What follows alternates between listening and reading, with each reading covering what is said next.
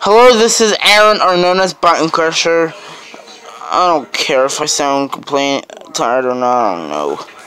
But, I just had a freaking flip out.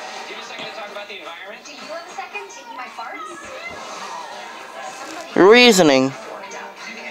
Windows 10. Wait, Windows in general. Windows is so rude about their product keys and stuff. I don't even like Windows anymore.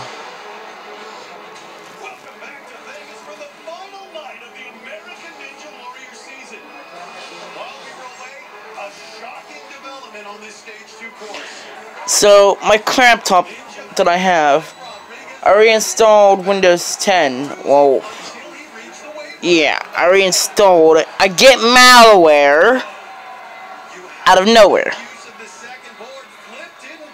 Let's start freaking out flipping. The desktop computer that I'm currently using right now is an HP 19. I'm even complaining about that because, come on, is 4 gigs of RAM and an Intel Celeron processor good? No. It's not good for my working.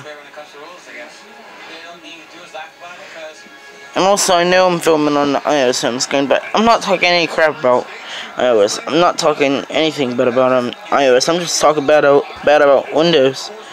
And the reason I don't, I love Mac even though I don't have a Mac, and also Windows, you always get a random error every time. Like, there's always an error.